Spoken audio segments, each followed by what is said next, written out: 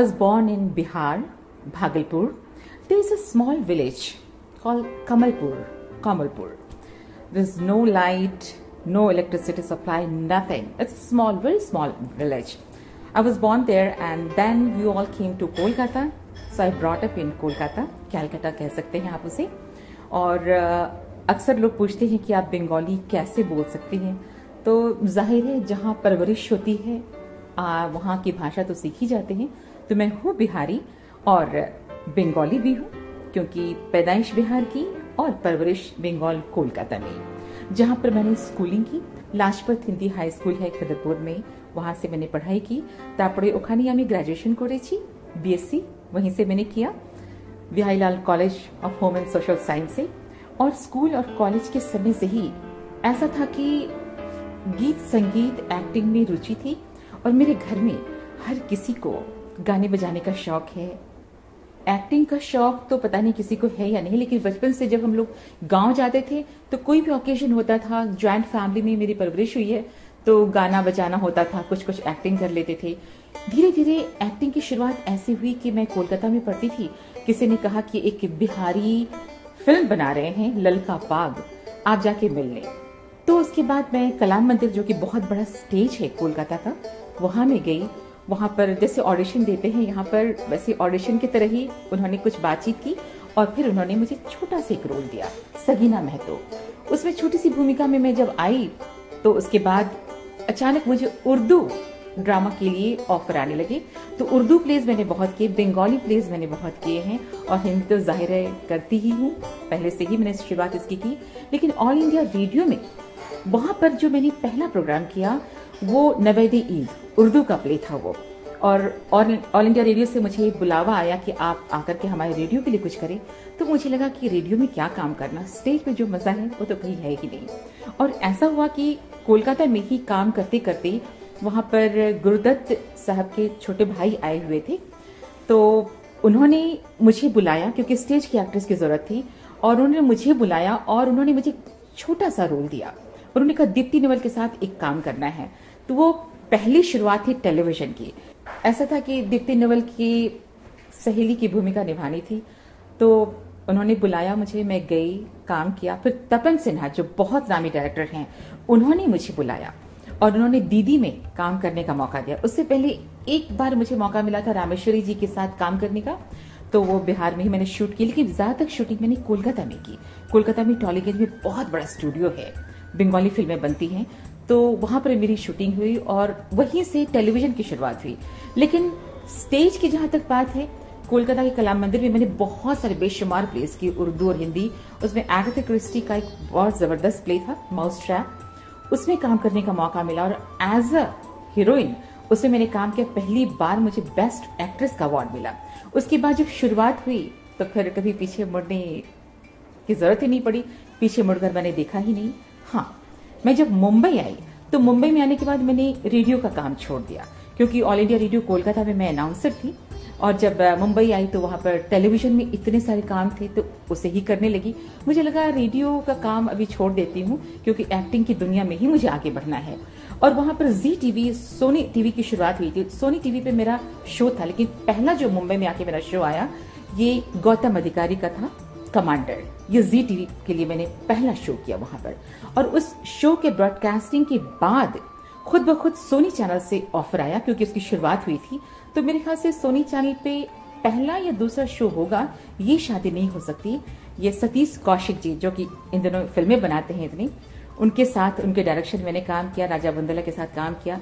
फिर नीना गुप्ता जी ने मुझे अपने कंपनी में काम करने के लिए बुलाया। तो उनके साथ मैंने गुमराह किया और इरफान खान जो आज जय हो और कितने सारी फ़िल्मों को लेकर कितने नामी हैं वो, उन्होंने मुझे कहा कि माशाल्लाह क्या आवाज़ पाई है आपने। आप वॉइसिंग क्यों नहीं करती हैं? मैंने कहा, ये वॉइसिंग क्या है? उन्होंने कहा डबिंग तो उनके कहने पर उन्होंने कुछ कॉन्टैक्ट्स दिए। उनके कहने पर मैंने हिंदी में और उर्दू में बहुत सारी वॉइसिंग की डबिंग किए फिर मैंने कहा, इरफान भाई, ऐसा है कि मैं खुद को as a dubber artist I don't want to establish myself because I am an actor I want to act तो उन्होंने कहा, अच्छी बात है, फिर आपकी मर्ज़ी. तो एक्टिंग की दुनिया में ऐसे आगे बढ़ती गई तो शेखर सुमन जी के साथ राज किरण जी के साथ काम करने का मौका मिला। नीना गुप्ता के साथ तो काम कर ही रही थी, दूसरे शोज़ में भी उन्होंने बुलाए। पर इरफान खान के साथ मैंने सिर्फ़ एक ही टीवी सीरियल में काम किया है। लेकिन सतीश कौशिक जी ने मुझे ओ मारिया में भी बुलाया, जो कि जी टीवी पे था। पर उसमें दो चार एपिसोड के बाद मैंने काम करना छोड़ दिया। फिर हिमेश रेशमिया जो कि म्यूज़िक डायरेक्टर हैं सिंगर हैं, अब हीरो भी हैं, उन दिनों वो सिर्फ़ छोटे पर्दे पर काम किया करते थे। तो ऐसा हुआ कि उन्होंने कहा कि एक टीवी सीरियल बना रहे हैं, आप आइए माँ के रोल के लिए, और मेरे ऊपर ही वो कहानी बेस थी। लेकिन शूटिंग के दौरान ही, और उस समय मैं परंपरा भी कर रही थी। तो उसी दौरान कनाडा आने की बात हो गई तो सब कुछ छोड़ छाड़ करके आना पड़ा। अक्सर लोग पूछा करते हैं मुझे कि आप कनाडा क्यों आई क्या आपने यहाँ की शादी की? शादी तो मेरी कोलकाता में हो गई थी। एक्चुअली बहुत साल पहले ही मेरी जुड़वा बेटियाँ हैं, कोलकाता में ही वो पैदा हुई। और, शादी के बाद हाँ मैं बॉम्बे चली आई थी। और बॉम्बे में काम करते करते, चूँकि मैं गवर्नमेंट जॉब में थी, वहाँ पर चर्च गेट में मेरा हेड ऑफ़िस था, वहाँ मैं काम करती थी। और कोलकाता में बता दूँ कि मेट्रो रेलवे में जो अंडरग्राउंड रेल है ना, उसमें मैं काम किया करती थी हेड ऑफ़िस में पार्क स्ट्रीट में। तो वहाँ से मुंबई आना हुआ। और मुंबई के बाद यहाँ आने पर लोगों ने यही पूछा कि आपका डिसीज़न होगा, आपने चाहा होगा। दरअसल बात यह है कि family is my first priority और चूँकि मेरे हस्बैंड वो मरीन इंजीनियर हैं, उनके साथ हम you use to roam around all over the world बच्चों के साथ मैं हर जगह जाती थी तो यहाँ भी सेंट जॉन्स आए थे हम लोग। शिप हमारे यहाँ आई थी। तो सेंट जॉन्स में वेदर बहुत अच्छा था, खिली खिली धूप थी, मुस्कुराते हुए सूर्य नारायण उनकी रोशनी इतनी अच्छी लग रही थी। तो जब वापस हम इंडिया गए, बच्चों ने कहा कि हम लोग समर वेकेशन में कैनेडा चलते हैं। मैंने कहा it's not possible for us because it's very expensive we can't afford shipping company में काम करते हैं, अगर कंपनी पैसे देती है तो ठीक है। पर ऐसा हुआ कि रोली रंगोली मेरे दो बेटियाँ हैं, जुड़वा। तो रोली रंगोली के कहने पर उनकी ख्वाहिश को ध्यान में रखते हुए शायद मेरे हस्बैंड ने अप्लाई किया होगा। कब अप्लाई किया, कैसे आने का हुआ, कुछ पता नहीं। लेकिन ऑल ऑफ़ अ सडन जब पता चला कि हमें आना है तो आई वॉज़ रियली शॉक्ड क्योंकि मैं बिल्कुल बॉम्बे छोड़ के आना नहीं चाहती थी। हालाँकि मुंबई कहते हैं, पर वी आर यूज़ टू हम बॉम्बे कहते हैं। वहाँ इतने सारे छह सीरियल एयर पे चल रहे थे। डी डी वन पे डी डी टू पे सोनी पे जी टीवी पे। तो मैंने एक क्षण के लिए सोचा कि अगर मैं सिर्फ़ एक्टिंग करने में ही लग जाऊँ तो घर परिवार को मुझे छोड़ना पड़ेगा, जो मुझे मंजूर नहीं था, क्योंकि family is my first priority तो हस्बैंड का डिसीज़न था तो हम लोग यहाँ आए। कनाडा पहले टोरंटो आए, फिर वैंकूवर किसी भी काम को अगर आप करना चाहें तो शिद्दत से उसकी ख्वाहिश होनी चाहिए। उसके बाद असंभव कुछ भी नहीं है। Nothing is impossible in this world क्योंकि अगर आप दिली इच्छा रखते हैं कि आपको वो काम करना है तो खुद ब खुद सारे खयानात आपको हेल्प करने के लिए जुड़ जाती हैं। आपको महसूस नहीं होता, लेकिन ये जो कॉस्मोस, ये जो एनर्जी है, हर तरफ़ से, वो आप एक पॉजिटिव एनर्जी महसूस करते हैं, लेकिन आपको बहुत कुछ सेक्रीफाइस भी करना पड़ता है कुछ पाने के लिए। जैसे मेरी जुड़वा बेटियाँ बीमार रहती थी, उन्हें छोड़ करके मैं जाती थी, क्योंकि शो मस्ट गो ऑन ऐसा नहीं कि बच्चे बीमार हैं तो मैं अब शो करने नहीं जाऊँगी शूट करने नहीं जाऊँगी, या स्टेज प्ले करने नहीं जाऊँगी, ऐसा नहीं है। यहाँ आने के बाद बहुत स्ट्रगल करना पड़ा। हम टोरंटो आए हुए थे तो अपना सारा सब कुछ ऐशो आराम की ज़िंदगी मुंबई में छोड़ दिए थे। आलिशान घर था वहाँ पर और सारी सुविधाएँ थी। लेकिन सब कुछ छोड़ छाड़ कर जब हम यहाँ आए, न यहाँ हमारे पास गाड़ी नहीं थी। बच्चे बड़े दुखी थे कि हमारे पास गाड़ी नहीं है, कोई फर्नीचर नहीं है। तो पहली बार जो हमने खाना बनाया तो हमने न्यूज़ पेपर बिछा दिया। हमने बच्चों को कहा कि देखो बेटा, यही है डाइनिंग टेबल और जब रात में सोने लगे तो कुछ तो लेकर आए नहीं थे। सिर्फ़ चार सूटकेस लेकर आए गए थे because my husband told me that you will get everything wherever you will go in this world और असंभव कुछ नहीं है। जहाँ भी जाओ, हर चीज़ें मिल जाती हैं। तो हम दिन में जाकर के हमने कुछ कुछ सामान खरीद लिया। हमने कहा कि हमारे पास कोई पलंग नहीं, कुछ नहीं, हम ज़मीन पर ही सोएँगे। बच्चों को वैसे ही मैंने सिखाया कि जब तक स्ट्रगल नहीं करोगे, कुछ नहीं मिलेगा। वो दुखी थे कि सारे फ्रेंड्स इंडिया में छूट गए हैं। लेकिन एक नई शुरुआत करने के लिए you have to start from scratch एकदम नीचे से अगर आप मेहनत करके आओगे तभी आप आगे बढ़ पाओगे। और आज अगर स्ट्रगल की बात हम सोचते हैं तो बड़ा मज़ा आता है। लोग कहते हैं कि स्ट्रगल करके परेशान हो जाते हैं। मैं समझती हूँ इस पार्ट ऑफ़ योर लाइफ ये ज़िंदगी के साथ साथ चलता रहता है।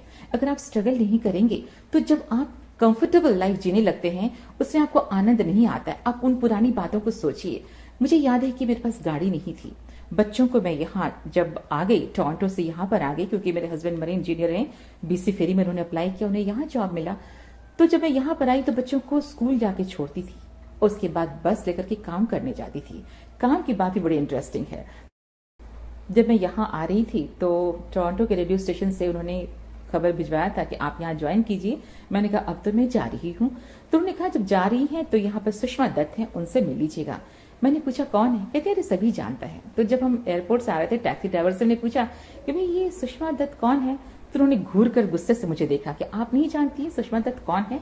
मैं तो डर गई, मैंने कहा, बाप रे, बहुत ही धांसू महिला है, कैसे मिलूं? लेकिन एक नंबर उन्होंने दिया था घर का, मैंने उन्हें फ़ोन किया और उन्होंने मुझे स्टूडियो बुला लिया। जब मैं स्टूडियो मिलने के लिए गई, अपना रेज्यूमे मैंने प्रोफेशनली बनवाया था टोरंटो में, उनको दिखाया, मुझे नहीं लगता कि उन्होंने आज तक मेरी रेज्यूमे देखी होगी और कितना मैंने स्टेज पे काम किया, कितना टीवी पर काम किया है, कितनी एक्टिंग की है डायरेक्शन दिया है तो उन्होंने शायद देखा भी नहीं, उन्होंने कहा, कब से ज्वाइन करना है, कर लो। वो दिन है 97 का और आज का दिन है, मैं उनके साथ काम कर रही हूँ। लेकिन जब स्ट्रगल की बात आती है तो मैं ये कहना चाहती हूँ कि असंभव ज़िंदगी में कुछ भी नहीं है। आप स्ट्रगल करें, परिश्रम करें और परिश्रम सार्थक ज़रूर होगा। लेकिन स्ट्रगल के दौरान जब हम परेशान हो जाते हैं कि ये क्या हुआ? ऐसा तो हमने नहीं सोचा था। यहाँ की ज़िंदगी वो स्वप्निल जैसी लगती है कि खूबसूरत जगह है अच्छा मौसम है, अच्छे से रहेंगे। लेकिन सारी अच्छाइयों को एंजॉय करने के लिए आपको बहुत कष्ट सहना पड़ता है। तकलीफें सहनी पड़ती है। न हमारे पास प्रॉपर बर्तन थे, न फर्नीचर था, कुछ भी नहीं था। और गाड़ियाँ तो खैर थी ही नहीं। आज की तारीख में चार चार गाड़ियाँ हैं अगर हर किसी के पास घर में तो उस जमाने में कोई गाड़ी नहीं थी। चाहे बर्फ़ गिर रही हो, चाहे आंधी तूफ़ान आ रहे हो, काम तो करना ही था। तो बड़ा मुश्किल होता है उस दौर, उसमें अगर इंसान टूट जाए तो बस टूट जाता है। हौसला बुलंद रखना बहुत ज़रूरी है। क्योंकि अगर आपको कुछ पाना है, किसी मुकाम पर पहुँचना है तो स्ट्रगल्स तो आएँगे, अड़चने आती रहेंगी आपके रास्ते में। उन अड़चनों को, उन बाधाओं को आप पार करिए, फिर देखिए, सब कुछ आपके हाथ में है। यहाँ आने के बाद काम की शुरुआत कैसे हुई? रेडियो जॉब तो मैंने शुरू कर दिया करना, जो आज तक कर रही हूँ, वही मेरा मेन जॉब है। लेकिन एक्टिंग का शौक बरकरार था। तो शॉ मल्टीकल्चर चैनल में पहला मेरा जो शो आया था टीवी शो विक परमार के डायरेक्शन में, वो था वारिस वारिस में काम करना अच्छा लगा। उसके बाद काफ़ी टीवी सीरीज़ में काम करने लगी। लेकिन मेन स्ट्रीम में मैंने काम करना शुरू किया। विक सरीन बहुत नामी डायरेक्टर हैं। कनेडियन डायरेक्टर उन्होंने मर्डर अनवेल बनाया। सीबीसी के लिए ये फ़िल्म बनी थी। तो पहली जो मेरी फ़िल्म कनाडा आने के बाद हुई, ये सीबीसी के लिए मर्डर अनवेल उसके बाद मैंने फैंटास्टिक फोर पार्ट टू में काम किया 2012 में काम किया कमर्शियल्स में फाइजर कंपनी के लिए मैंने कमर्शियल किया सीबीसी के लिए मैंने कमर्शियल किया, और फिर अभी कभी काफ़ी कमर्शियल्स यहाँ चल रहे हैं। एयर पे हैं सोनी पे आता है एटीएन पे आता है, वो सब करने लगी और अभी भी मैं कर रही हूँ, कुछ फ़िल्में कर रही हूँ कुछ टीवी शोज़ कर रही हूँ साथ ही साथ स्टेज प्ले तो कर ही रही हूँ। किसी ने एक दिन पूछा कि आपको कैसा लगता है? आपने टेलीविज़न में भी आप काम करती हैं स्टेज पर भी काम करती हैं रेडियो पे भी काम करती हैं। हर किसी के एक्टिंग में क्या डिफरेंस है? ये मैं तमाम आर्टिस्टों को बना, बताना चाहती हूँ कि अगर आप रेडियो पे प्ले करते हैं तो अपनी आवाज़ के मॉड्यूलेशन से आप लोगों को समझाते हैं कि क्या मतलब है डायलॉग का। लेकिन टीवी के पर जब काम करते हैं या फ़िल्मों में बड़े पर्दे पर काम करते हैं तो रीटेक होता रहता है। सबसे डिफ़िकल्ट है। मोस्ट डिफ़िकल्ट थिंग है स्टेज पर काम करना। पर वहाँ पर कोई रिटेक नहीं होता। लोग आपको सामने देखते हैं। आपकी तबीयत खराब है, तबीयत नासाज है या अच्छी है, इससे कोई फ़र्क नहीं पड़ता। परफॉर्मेंस आपका कैसा है, ये देखा जाता है। अगर आपने अच्छा किया, तालियाँ बजेंगी अच्छा नहीं किया तो बस गए काम से। शादी तो हुई कम ही उम्र में मेरी। लव मैरिज है हमारा और ऐसा है कि उस जमाने में बहुत ही परेशानियों का सामना करना पड़ा जब शादी की, क्योंकि मैं ब्राह्मण परिवार से हूँ, मेरे हस्बैंड कायस फैमिली से ताल्लुक रखते हैं। तो ज़ाहिर है बहुत बहुत परेशानी हुई शादी के बाद, लेकिन जब दो बेटियाँ पैदा हुई तो सब खुद ब खुद ठीक हो गया। और यहाँ आने के बाद हमने काम करना शुरू किया। साथ ही साथ हमने लोगों को ये बताना भी शुरू किया कि आप अगर स्ट्रगल करते हो, कुछ पाना चाहते हो तो असंभव कुछ भी नहीं है। मेरे हस्बैंड चूँकि मरीन इंजीनियर हैं और घूमते रहते हैं। बच्चियाँ भी, मेरी बेटियाँ भी घूमती रही, लेकिन अब तो बड़ी हो गई हैं। रोली और रंगोली, ये दोनों जुड़वा बेटियाँ हैं। रोली की शादी हो गई है। मेरा दामाद जो है, ये ब्रिटिश है, मैथ्यू टेलर। वो भी शिपिंग कंपनी में है, कैप्टन। मेरी बेटी भी शिपिंग कंपनी में रोली काम करती है, रोली टेलर। और जो दो मिनट की छोटी है, हालाँकि छोटी कहनी नहीं चाहिए, बड़ी कहनी चाहिए, रंगोली प्रसाद, वो यहाँ बैंक में काम करती हैं। Husband shipping company BC ferries में है।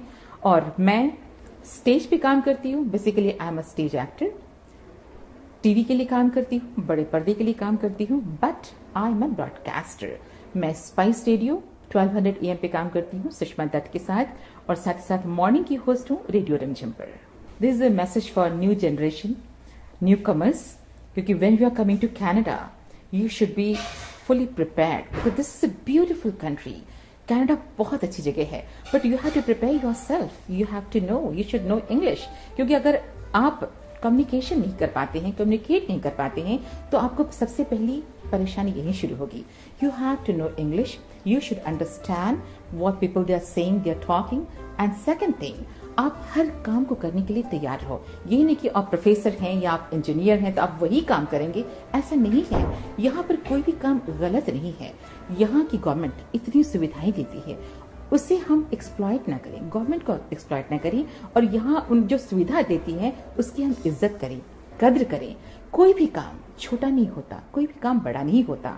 आप क्या थे इंडिया में या पाकिस्तान में क्या थे या कहीं और अपने मुल्क में क्या थे, उसे वहाँ छोड़ दीजिए। यहाँ आप क्या हैं, क्या बनना चाहते हैं, उसके लिए पूरी मेहनत करिए। और you have to start from scratch कोई भी काम हो, चाहे छोटी सी दुकान में आप काम शुरू करें या धीरे धीरे बिज़नेस शुरू करें, हर तरह का काम करने के लिए तैयार रहिए। फिर देखिए, कोई परेशानी नहीं होगी यहाँ। हाँ मैं गाना भी गाती हूँ। कई बार लोगों ने स्टेज पर गाना गाते हुए सुना है। शौक है। डांस भी करती हूँ मैं। कथक। मैं अभी इस उम्र में सीखना शुरू किया है। अगर आप ये सोचेंगे कि आप एक ही दिन में बड़े बन जाएँगे, एक ही दिन में आप एकदम शिखर पर पहुँच जाएँगे तो ऐसा नहीं है। But nothing is impossible in this world specially in this country if you are in Canada सब कुछ आप हासिल कर सकते हैं। लेकिन आपको थोड़ी मेहनत तो करनी ही पड़ेगी।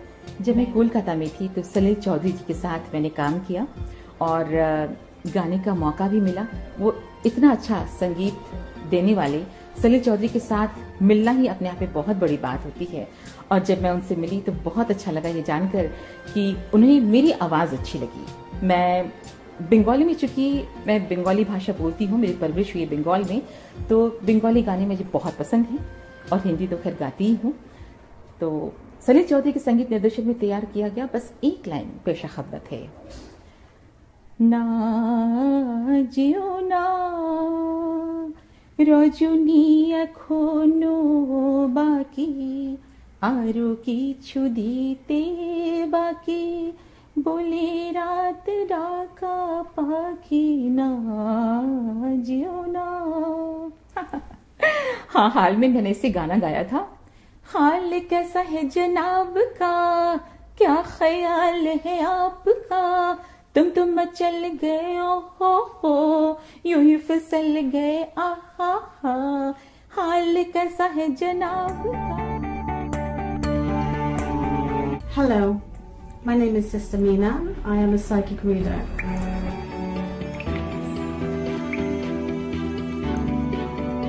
Please contact me for any of your psychic readings. Sister Meena, powerful psychic reader. Full lights, for lights, Start on, Start on, camera, camera, action, action. Spot, spot.